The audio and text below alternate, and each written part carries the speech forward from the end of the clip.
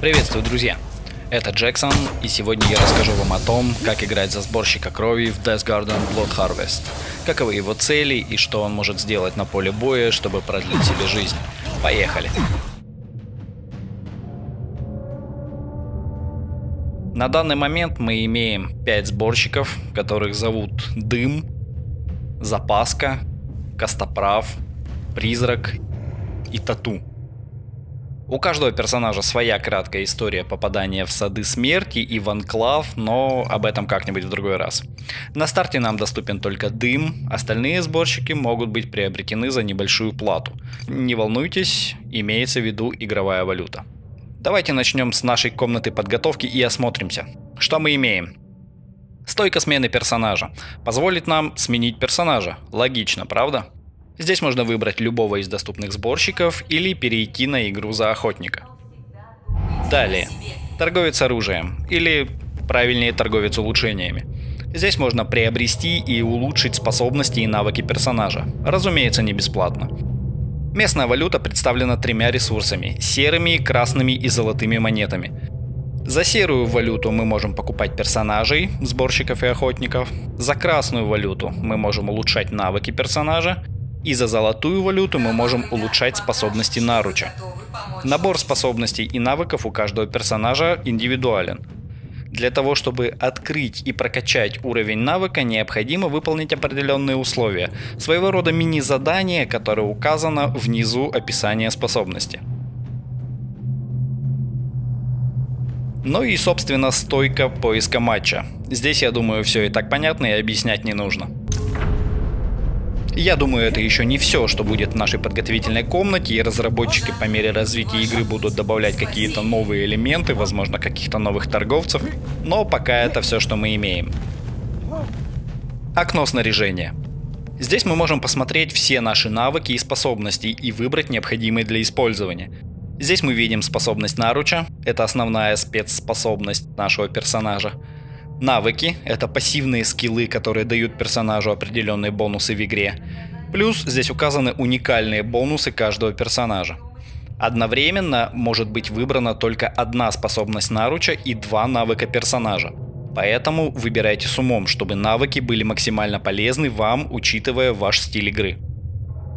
Также в этом окне можно изменить внешний вид персонажа. Сейчас скины отсутствуют, но они 100% появятся в будущем, будьте в этом уверены. Навыки наруча. У каждого сборщика есть два навыка наруча на выбор. Один навык открыт изначально, это базовый навык персонажа. Если кто не знает, то у дыма это дымовая завеса. Запаска может выпускать клона, который отвлекает охотника в нужный момент. Костоправ может лечить, причем как себя, так и членов команды. Тату может использовать щит, точно так же либо на себя, либо на других сборщиков. И призрак на некоторое время может становиться невидимым и делать невидимым всех, кто попадет в область применения его способности. Вторую способность можно открыть за золотую валюту, и это один из скиллов других персонажей. Например, у дыма это лечение, а у призрака это клон. Почему они распределены именно так, пока неизвестно. Возможно, это говорит нам о том, что в дальнейшем можно будет купить любой скилл любого персонажа. Окей, с комнатой отдыха мы разобрались, перейдем к полю боя, а конкретно в наш сад смерти. Основная задача сборщика проста – собрать кровь и сбежать из сада. Собирается кровь вот из таких вот жутких источников, которые разбросаны по саду. В каждом источнике находится 5 единиц крови, а всего карманы сборщика вмещают до 10 единиц. Сдать кровь необходимо вот у таких обелисков, их на карте 3, и отмечены они буквами А, Б и С. Кровь начинает сливаться сразу, как только вы окажетесь в зеленом круге вокруг обелиска. Однако, безопасно слить кровь не так-то просто. Во-первых, кровь сливается весьма долго. На сдачу 10 единиц крови уходит примерно 15 секунд, а стоять на месте 15 секунд чревато неблагоприятными последствиями. Во-вторых, сдача крови выдает охотнику наше местоположение, так как обелиск начинает издавать характерный звук и в небе появляется красная аура от каждой изданной единицы крови, которую видно через полкарты. В-третьих, охотники часто активируют дроны около обелисков, которые сканируют местность и выдают ваше местоположение, и охотник видит ваш силуэт через всю карту. Да, дрона можно сбить, но через небольшой промежуток времени он снова заработает и обязательно вас засветит. И в-четвертых, места рядом с обелисками идеальны для ловушек охотников, для турели Инквизитора или мин Браконьера. Как только сборщики соберут в сумме 125 единиц крови, открываются два выхода из сада, через которые необходимо сбежать. Выходы также открываются по истечении таймера в 8 минут. Метки. Метки играют очень важную роль для всей команды. Дело в том, что ваша видимость ограничена, и вы не видите на арене ничего, кроме того, что попадает в поле вашего зрения. Поэтому искать ящики, источники крови и обелиски придется почти вслепую. Но если предмет помечен, он становится видимым для всей вашей команды на какое-то время. Вы можете отмечать все. Ящики с припасами, источники крови, чтобы команда видела, где можно собрать ее. Обелиски, чтобы видеть, куда ее нести и сдать максимально быстро.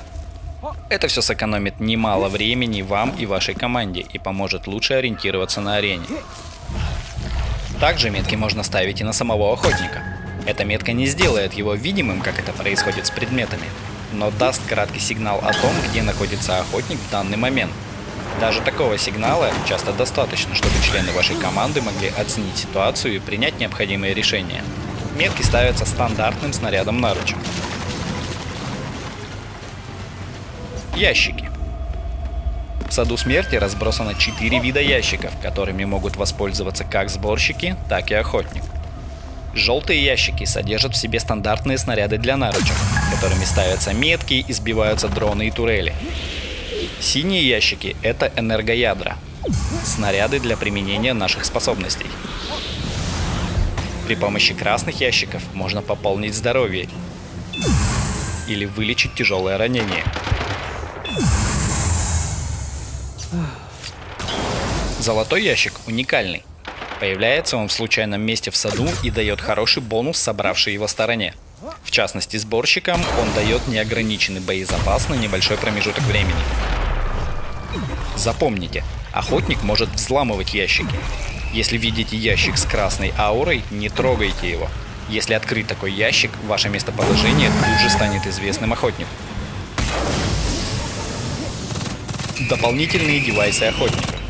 Охотники, кроме огнестрельного вооружения, имеют еще кое-что в своем арсенале. Дроны-разведчики. Разбросаны по всему саду и ждут, пока охотник их активирует. После активации дрон взлетает и сканирует определенную область и подсвечивает любого, кто окажется в этой области. Дроны можно сбивать. Сбитый дрон ненадолго перестает функционировать, что дает время для маневра, но вскоре он включится снова. Турели. Дополнительное оружие Инквизитора, которое он может установить в любом месте на карте.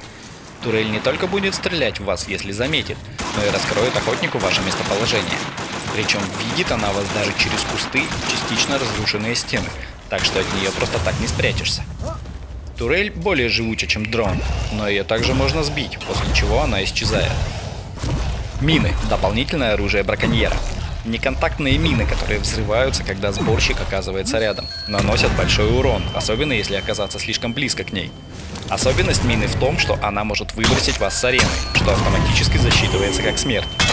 Мины можно обнаружить по характерному звуку и еле заметному полю вокруг нее, обозначающему область детонации. Правда, мины заметны только с очень близкого расстояния, что делает их весьма грозным оружием. Тяжелое ранение. Если вы получили тяжелое ранение, то наверняка вам уже конец, и охотник вас казнит. Но, если вам повезет, то охотник может просто не увидеть, куда упала ваша раненая тушка. Или рядом окажется сердобольный тиммейт, который кинет вас чем-нибудь полезным. Вроде дымовой завесы или невидимости. Тогда у вас появится шанс. Все, что нужно сделать, это спрятаться, чтобы охотник вас не нашел. В данном случае кусты лучший вариант.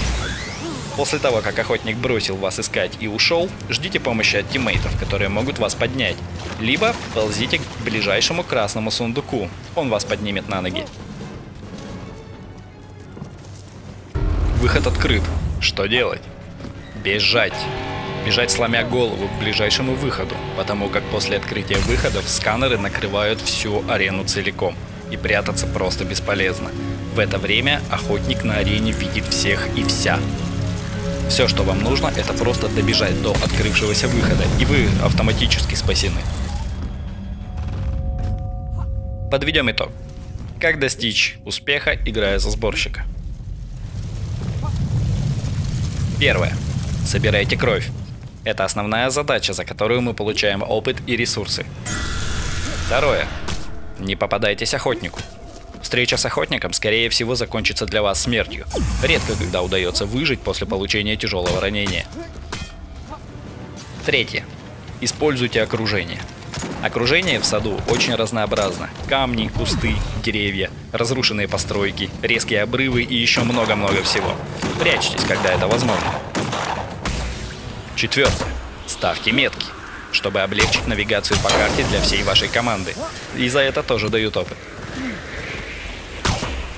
Сбивайте дроны. Они обнаруживают вас и ваших тиммейтов для охотника, а это нам не нужно. И за это тоже мы получаем опыт. Помогайте друг другу. Да, по сути на арене каждый сам за себя, но в одиночку играть намного сложнее. Вовремя брошенная в коллегу дымовая завеса или невидимость, когда за ним гонится охотник, может спасти ему жизнь. Седьмое. Не сидите на одном месте. Если попытаться крысить и спрятаться в кустах, через какое-то время над вами появится маленький дрон, который раскроет охотнику ваше местоположение, и вы погибнете, так и не заработав опыта и ресурсов. Вот и, наверное, все, что необходимо знать об игре за сборщика. Собирайте кровь, выживайте и будете вознаграждены. А главное, получайте от игры удовольствие. Ведь для чего еще играть? Удачи, друзья!